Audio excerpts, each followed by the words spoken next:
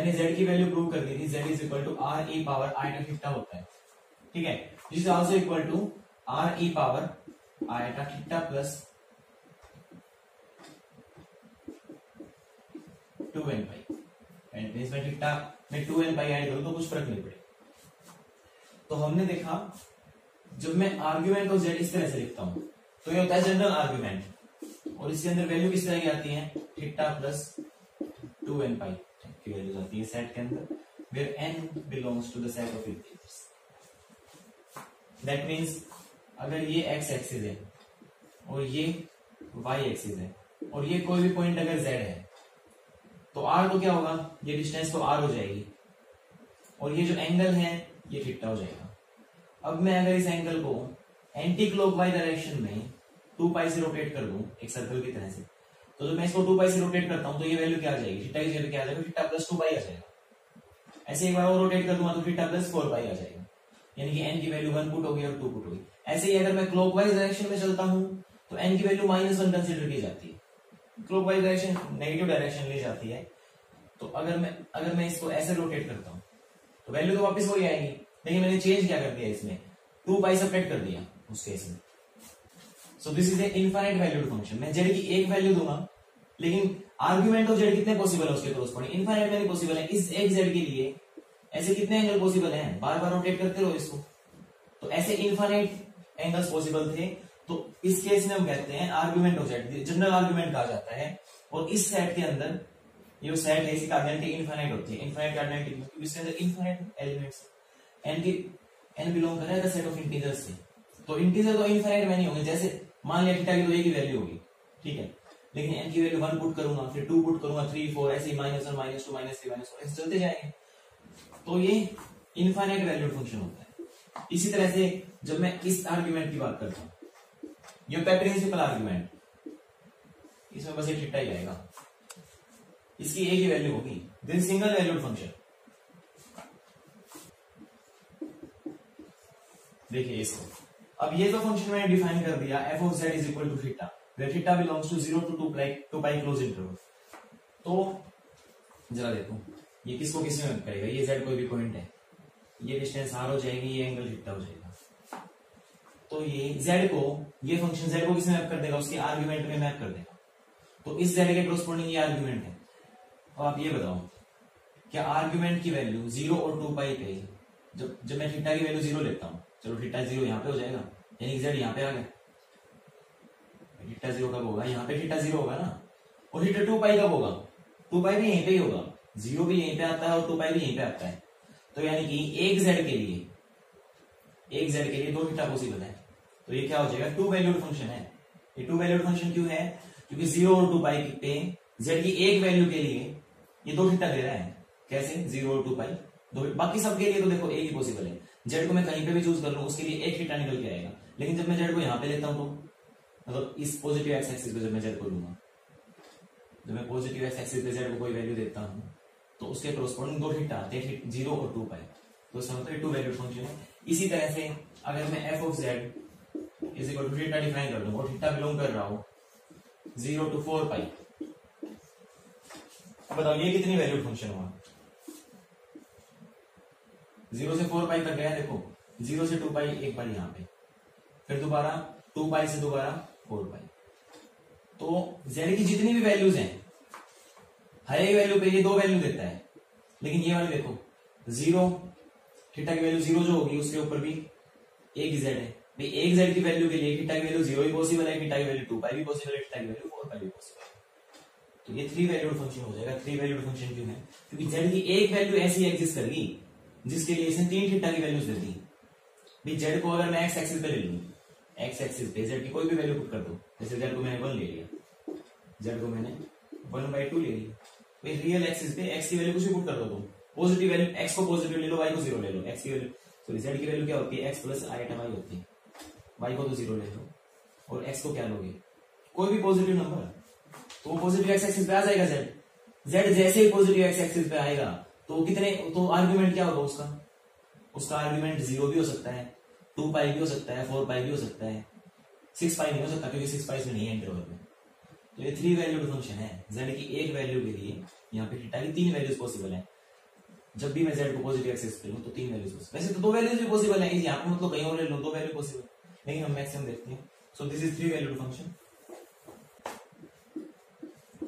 जब f of z को मैं थीटा कह दू वो थीटा बिलोंग कर रहा हो minus pi two pi close inter ये कितनी वैल्यूड फ़ंक्शन है? ये सिंगल वैल्यूड फ़ंक्शन देखो। ज़ीरो यहाँ पे आएगा। ज़ीरो से पाई तक मैं यहाँ पे गया। ज़ीरो इंक्लूड हो गया है। इस पॉइंट को मैंने इंक्लूड कर दिया। और पाई को भी इंक्लूड कर दिया। तो ज़ीरो से पाई तक जा चुके। क्या क्या रहेगा देखो माइनस पाई से ज़ीरो ओपन रहेगा इस इंटरवल को मैं ऐसे लिख सकता हूँ इन दोनों की यूनियन में। तो ये तो इंक्लूड कर दिया मैंने। अब ज़ीरो से पाई देखो क्या होगा। ज़ीरो से माइनस पाई ज़ीरो से माइनस पाई अपोजिट डायरेक्शन होगी, ये वाई डायरेक्शन तो ज़ीरो को भी इंक्लूड नहीं किया मैंने और ना ही माइनस पाई को इंक्लूड किया। तो कोई भी ऐसी वैल्यू नहीं है पूरे सर्कल में जो दो बार रिपीट हो रही हो। एक वैल्यू सिर्फ़ एक ही बार है एक सर्कल ही आया ये। कोई भी वैल्यू रिपीट नहीं हुई तो this is single value function z की हर एक वैल्यू के लिए सिर्फ़ एक थीटा निकल के आएगा। और जब भी मैं थीटा को बिलोंग कराता हूँ इस पर्टिकुलर इंटरवल से, जो इंटरवल है माइनस पाई से पाई क्लोज ये इंटरवल आपको याद रखना है। जब थीटा बिलोंग करेगा इस इंटरवल से, उस केस में हम थीटा हो देंगे प्रिंसिपल आर्ग्यूमेंट अब आप एक बात बताओ प्रिंसिपल आर्ग्यूमेंट और जनरल आर्ग्यूमेंट में रिलेशन क्या है? जनरल आर्ग्यूमेंट तो क्या होता था? Theta plus two n pi और प्रिंसिपल आर्ग्यूमेंट में सिर्फ़ थीटा की बात करता हूँ। तो क्या मैं कह सकता हूँ general argument is equal to principal argument plus two n pi obviously मैं कह सकता हूँ जनरल आर्ग्यूमेंट तो ये होता है और प्रिंसिपल आर्ग्यूमेंट ये होता है। तो अगर आपको प्रिंसिपल आर्ग्यूमेंट निकालना आ गया तो मैं जनरल आर्ग्यूमेंट तो आराम से निकाल सकता हूँ, उसमें टू एन पाई एड कर दूँगा बस। अब देखो, ये प्रिंसिपल आर्ग्यूमेंट कैसे निकालेंगे?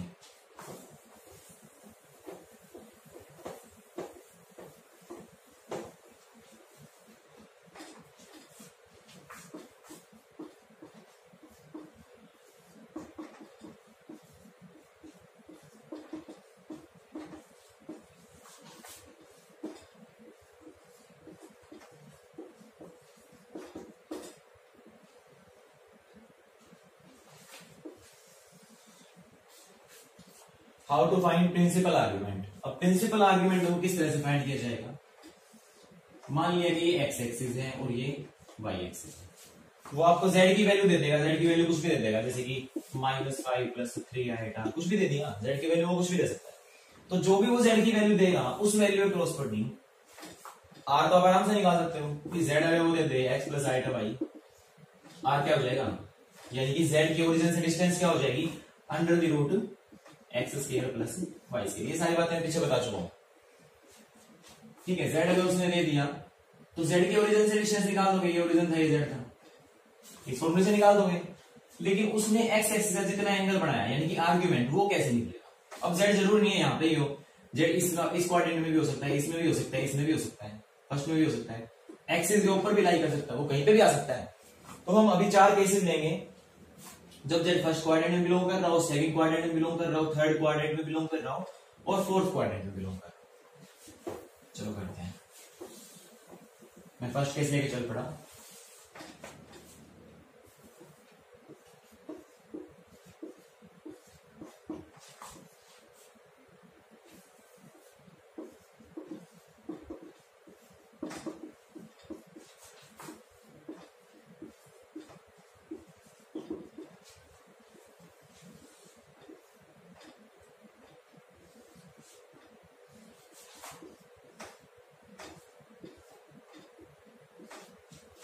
तो देखिए, जब जेड फ़र्स्ट क्वाड्रेंट में बिलोंग कर रहा हूँ, मान लिया कि ये तो एक्स एक्सिस है और ये वाई एक्सिस है। जेड मैंने फ़र्स्ट क्वाड्रेंट में ले लिया। अब जेड की वैल्यू क्या होती है? एक्स प्लस आइटा वाई या फिर एक्स को वाई कह सकते हो टू डायमेंशन में। अब देखो जेड से जो ओरिजिन की डिस्टेंस होगी, ये वाली जो डिस्टेंस है, मान लिया कि ये ओ ओरिजिन है ज़ीरो तो इस जेड की ओरिजिन से डिस्टेंस क्या होगी बताना? होगी जेड मोड और उसको मैंने मान लिया ठीक है? मैं निकालना चाहता हूँ ये एंगल जो जेड और ओ के बीच की डिस्टेंस ने एक्स एक्स जो एंगल बनाया, उसी को हम आर्ग्यूमेंट कहते हैं। तो वो एंगल मान लिया थीटा बना दिया इसने। अब मैं थीटा की वैल्यू निकालना चाहता हूँ। देखो मैं थीटा कैसे निकालू? एक काम करते हैं। मैं यहाँ से यहाँ पे परपेंडिकुलर डाल देता हूँ। अब ये लेंथ कितनी हो जाएगी बताओ? वाई के इक्वल होगी। लेकिन मैं लेंथ की बात कर रहा हूँ तो वाई मोड लेके चल पड़ा। ठीक है? ऐसे ही ये वाली डिस्टेंस कितनी हो जाएगी? ये एक्स मोड हो जाएगी। ठीक है? यहाँ से टेन थीटा की वैल्यू निकालो। Tan theta is equal to बोलो। देखो वाई मोड बाई एक्स तो थीटा क्या आ जाएगा? टेन इनवर्स हो y mod by x which is equal to tan inverse y mod की वैल्यू पुट कर दो। वाई मोड क्या होगा? फ़र्स्ट क्वाड्रेंट में वाई पॉजिटिव था। तो वाई मोड वाई के इक्वल है।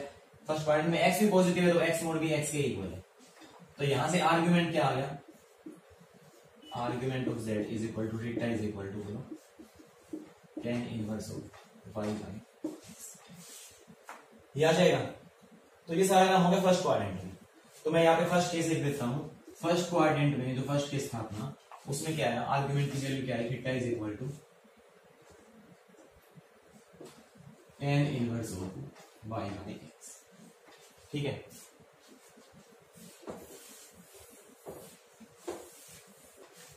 When theta lies in second quadrant, जब वो सेकंड क्वाड्रेंट में लाई करेगा तो किस तरह की सिचुएशन बन रही होगी? ये एक्स एक्सिस ये वाई एक्सिस तो जेड यहाँ से होगा सेकंड क्वाड्रेंट मान लिया ये जेड अगर ये जेड है तो इसकी वैल्यू क्या होगी? एक्स प्लस आईटा और जेड की ओरिजिन से डिस्टेंस ये जो ओ है, इस ओरिजिन से डिस्टेंस वो क्या हो जाएगी? Z mod is equal to r मैं निकालना चाहता हूँ इसने एक्स एक्सिस का कितना एंगल बनाया तो ये देखो, ये एंगल कितना बनाया है इसमें ये एंगल निकालना है ये एंगल मान लिया ठीकता है? बट ये एंगल मैं डायरेक्ट नहीं निकाल सकता।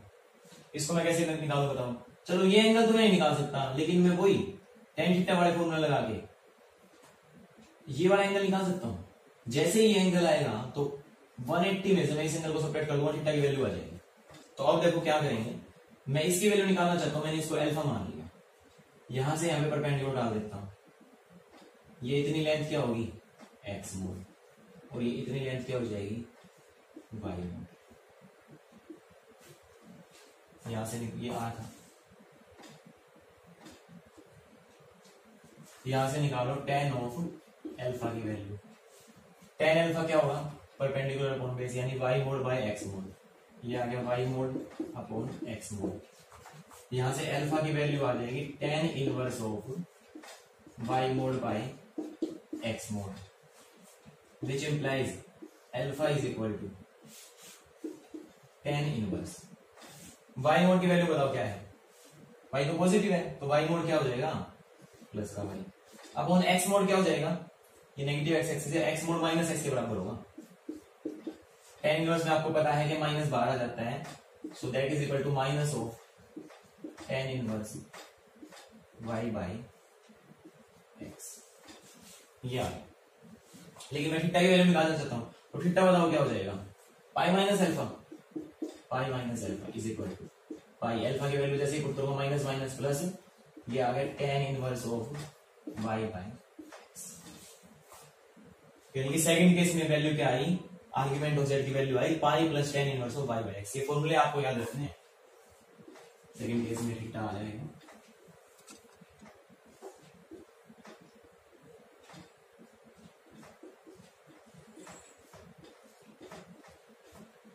आ जाएगा।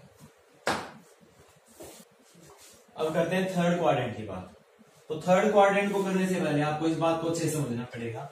जब मैं फ़र्स्ट टू क्वाड्रेंट्स लेके चला था तो मैं एंटी क्लॉकवाइज डायरेक्शन ले रहा था। ये जो फिट्टा है, ये कहाँ से, कहाँ तक बिलोंग कर रहा है? माइनस पाई से पाई क्लोज तक बिलोंग कर रहा है। तो इसको मैं किस तरह से लिख सकता हूँ? Minus pi zero open union zero to pi इस तरह से लिख सकता हूँ मैं इसको। तो ज़ीरो से पाई तक तो ये क्या है? ये एंटी क्लोकवाइज डायरेक्शन जो पॉजिटिव डायरेक्शन है। और ये और ये ज़ीरो से ये वाले जो माइनस पाई है, ये वाई डायरेक्शन अभी तक तो मैं इस डायरेक्शन में चल रहा था, वो तो एंटी क्लॉकवाइज डायरेक्शन थी पॉजिटिव थी जब मैं क्लॉकवाइज डायरेक्शन में हूँ तो वो क्या है? नेगेटिव डायरेक्शन तो इन दोनों क्वाड्रेंट्स के अंदर तो आपको पॉजिटिव डायरेक्शन लेके चलनी है। इस क्वाड्रेंट में नेगेटिव डायरेक्शन लेके चलनी है। मतलब इन दोनों क्वाड्रेंट्स में थर्ड और फोर्थ थर्ड और फोर्थ में अपोजिट डायरेक्शन आएगी तो अपोजिट डायरेक्शन की वजह से माइनस साइन आएगा। क्लॉकवाइज डायरेक्शन को नेगेटिव लेते हैं।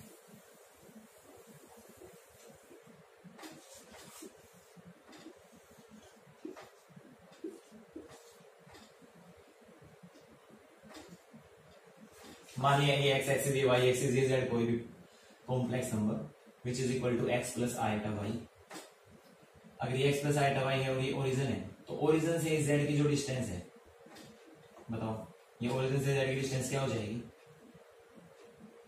Z mod which is equal to r ये हो जाएगी। अब मैं यहाँ से यहाँ पे परपेंडिकुलर डालता हूँ। ये दिन डिस्टेंस क्या होगी? वाई मोड होगी। वाई डिस्टेंस और ये डिस्टेंस क्या होगी? एक्स मैं निकालना क्या चाहता हूँ? अब की बात देखो, मैं ये वाला एंगल नहीं निकालूँगा टोटल अब नेगेटिव डायरेक्शन है तो मैं ये एंगल निकालूँगा। ये एंगल मान लिया ये एंगल थीटा है। अब मैं ये कैसे निकाल सकता हूँ? अगर मैं इतने की वैल्यू निकाल दू तो पाई में से इसको सेपरेट कर दूँगा।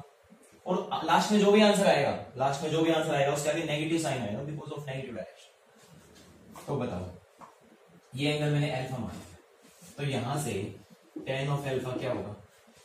यहाँ से टेन ऑफ़ एल्फा क्या होगा? परपेंडिकुलर कॉन्टेक्स यानी कि y mod upon x mod की वैल्यू तो एल्फा आ जाएगा tan inverse of y mod by x mod which is equal to tan inverse of y mod की वैल्यू थर्ड क्वाड्रेंट में एक्स नेगेटिव वाई भी नेगेटिव दोनों negative है। तो ये माइनस वाई और ये minus x which is equal to tan inverse of y by x ये आ जाएगा। ये तो आई अल्फ़ा की वैल्यू अब मैं थीटा को कैसे निकालू, देखो। अब ये जो थीटा जो होगा ना आर्ग्यूमेंट ऑफ़ जेड होगा जो प्रिंसिपल आर्ग्यूमेंट ऑफ़ वो क्या आता? पाई माइनस एल्फा आता वो। थीटा की वैल्यू तो वही होगी पाई माइनस एल्फा लेकिन अपोजिट डायरेक्शन में वजह से नेगेटिव साइन ऑटोमेटिकली आएगा। तो माइनस हो पाई में से एल्फा सब्ट्रैक्ट करो। Pi minus alpha which is equal to minus हो पाई माइनस एल्फा की वैल्यू है। tan inverse of y by x, which is equal to minus pi plus tan inverse of y by x अब ये formula आपको याद रखना है। First quadrant में तो वैल्यू आई थी tan inverse y by x second quadrant में पाई ऐड हो गया था थर्ड क्वाड्रेंट में माइनस पाई ऐड हो जाएगा। ठीक है? तो इसमें से पाई सब्ट्रैक्ट हो जाएगा। थर्ड क्वाड्रेंट में केस क्या आया अभी क्या आया थीटा इज़ इक्वल ये मैंने गलत लिख दिया यहाँ पे सॉरी ये थीटा की वैल्यू क्या आएगी यहाँ पे? Pi plus tan plus five x तो थर्ड में क्या जाएगी? Minus pi plus tan inverse of y by x ठीक है?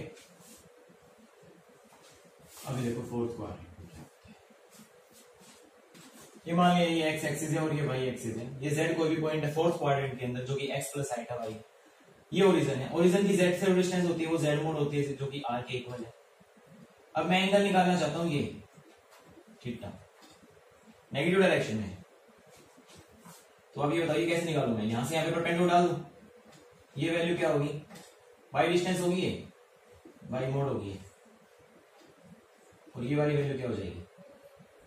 ये ओरिजन जो ओ है, उसको मैं यहाँ पे लिख देता हूँ। ये हो जाएगी एक्स तो यहाँ से अगर मैं टेन थीटा निकालना चाहूँ तो बताओ टेन थीटा क्या आएगा? Y mod by x mod theta is equal to tan inverse of y by x तो sorry y mod by x theta is equal to tan inverse of y mod की value क्या होगी यहाँ पे? Y negative है तो minus है।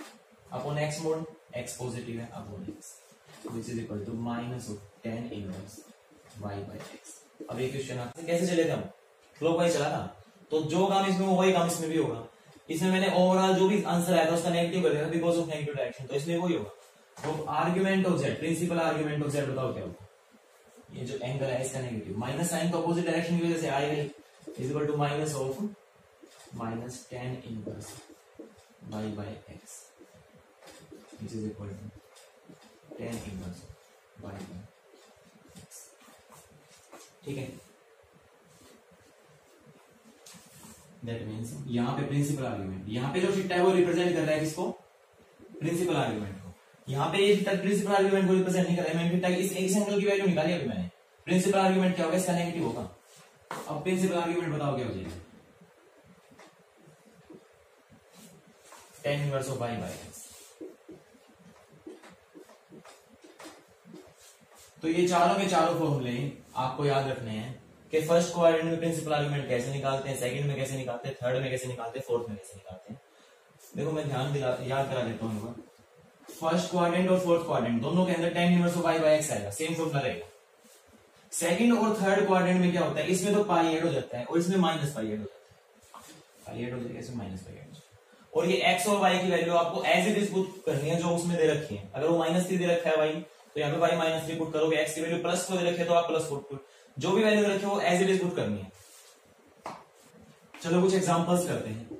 आप आर्ग्यूमेंट निकालो वन प्लस आई टाइम और जनरल आर्ग्यूमेंट भी निकालो वन प्लस आई तो बताओ कैसे निकालेंगे? टेन इनवर्स वन अब टेन इनवर्स वन क्या होगा? एंगल को मैं क्या पुट करूँ? कि tan of that angle one आ जाए पाई बाई फोर ही होता है।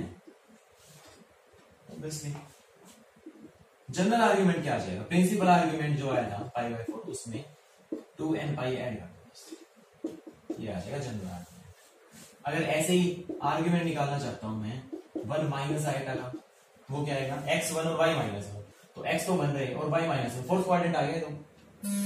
तो इसमें क्या होता है? Tan inverse of y by x y की वैल्यू है माइनस वन और एक्स की वैल्यू है वन दैट इज़ माइनस बाहर आ जाएगा इनवर्स में. Tan inverse of one that is equal to minus pi by very simple general argument क्या हो जाएगा? Minus pi by four plus two n pi ऐसे ही आर्ग्यूमेंट अगर निकाले, इसका निकाले आपके बाद माइनस वन प्लस आई अगर निकाल दे. एक्स की वैल्यू माइनस वन और वाई की value plus one second quadrant second quadrant में क्या आता है pi plus tan inverse of x तो pi plus tan inverse y की वैल्यू यहाँ पे वन है. एक्स की वैल्यू माइनस वन है. That is equal to pi minus बारह जाएगा. Tan inverse of one that is equal to pi minus इसकी वैल्यू पाई बाई फोर होती है. ये क्या आएगा? Four minus pi four pi minus pi यानी कि थ्री पाई बाई फोर ऐसे ही दोनों नेगेटिव होंगे. जब दोनों नेगेटिव होंगे तो बताओ क्या होगा? आर्ग्यूमेंट माइनस वन माइनस आएगा. दोनों नेगेटिव थर्ड क्वाड्रेंट में होते हैं। माइनस पाई देखो minus pi plus tan inverse y by x plus tan inverse हो वाई और एक्स दोनों ही माइनस वन है। तो अपॉन डिवाइड करूँगा तो बन आ जाएगा। तो ये आएगा minus pi plus pi by four इसको सोल्व कर लेना। ठीक है? क्या जाएगा minus four pi plus pi यानी कि minus three pi by four general argument कैसे आएगा उसमें टू एन पाई ऐड कर दोगे? तो ये सारे के सारे क्वेश्चन आप आराम से कर सकते हो। अब एक बात और ध्यान दिला देता हूँ। जब आर्ग्यूमेंट एक्सिस जब जेड एक्सिस पे आ जाए अभी तक तो तुम लेके आ first quadrant second quadrant third quadrant और फोर्थ क्वाड्रेंट जब वो एक्सिस पे आ जाए तब क्या होगा? तब वो कितना एंगल बनाएगा तब तो आपको चेक करने की तब तो आपको फॉर्मूला लगाने की ज़रूरत नहीं है। तो, तो देख के बता सकते हो। अगर यहाँ पे आ गए तो कितना एंगल बनाया? देखना। भाई ये एक्स ये एक्स एक्सिस है और ये वाई एक्सिस है। जेड यहाँ पे है तो जेड से ओरिजिन की डिस्टेंस क्या हो जाएगी? ये होगी डिस्टेंस इसने एक्स एक्सिस कितना एंगल बनाया? ज़ीरो बनाया। आर्ग्यूमेंट क्या हो जाएगा? ज़ीरो अगर वो वाई एक्सिस पे आ गया जेड मान लिया यहाँ पे है जेड वाई एक्सिस पे। तो अब इससे ओरिजिन की डिस्टेंस क्या होगी? ये वाली डिस्टेंस होगी ओरिजिन की। इस डिस्टेंस ने एक्स एक्सिस कितना एंगल बनाया? 90 का। तो पाई बाय फोर आ जाएगा आर्ग्यूमेंट ऐसे ही जब यहाँ पे आ जाए जेड अगर जेड यहाँ पे है, मान लिया। अगर जेड यहाँ पे है तो इससे ओरिजिन की डिस्टेंस ये हो जाएगी। तो इस डिस्टेंस ने एक्स के साथ कितना एंगल बनाया है पाई एंगल बनाया आंसर पाई हो जाएगा। मान लिया कि जेड यहाँ पे आ गया। जब जेड यहाँ पे आ गया तो उससे ओरिजिन की डिस्टेंस क्या हो जाएगी? ये डिस्टेंस हो जाएगी। इस डिस्टेंस में एक्स एक्स का कितना एंगल बनाया अब ये distance x x x x का कितना एंगल बना ये बड़ा एंगल देखो क्या मैं? ये एंगल नहीं देखूँगा फिर मैं? ये मैंने बताया था जब फ़र्स्ट और सेकंड क्वाड्रेंट की बात करोगे तो, तो आप एंटी क्लॉकवाइज चलोगे। ठीक है? तब तक तुम्हें ये एंगल देखना था। लेकिन अब मैं जब थर्ड और फोर्थ क्वाड्रेंट में जब बात करता हूँ इस पूरे क्वेश्चन में जब मैं बात करता हूँ यानी कि लोअर हाफ़ प्लेन में तो उस केस में मैं क्लॉकवाइज डायरेक्शन लेके चलता हूँ। तो अब मैं ये एंगल देखूँगा। ये एंगल कितना है? 90 का एंगल है पाई बाई टू है। लेकिन नेगेटिव साइन ज़रूर आता है अपोजिट डायरेक्शन की वजह से। तो ये एंगल कितना हो जाएगा यहाँ पे? माइनस पाई बाई टू वापिस यहाँ पे आ जाओ। यहाँ पे आ गया। वो मैं बता ही चुका हूँ।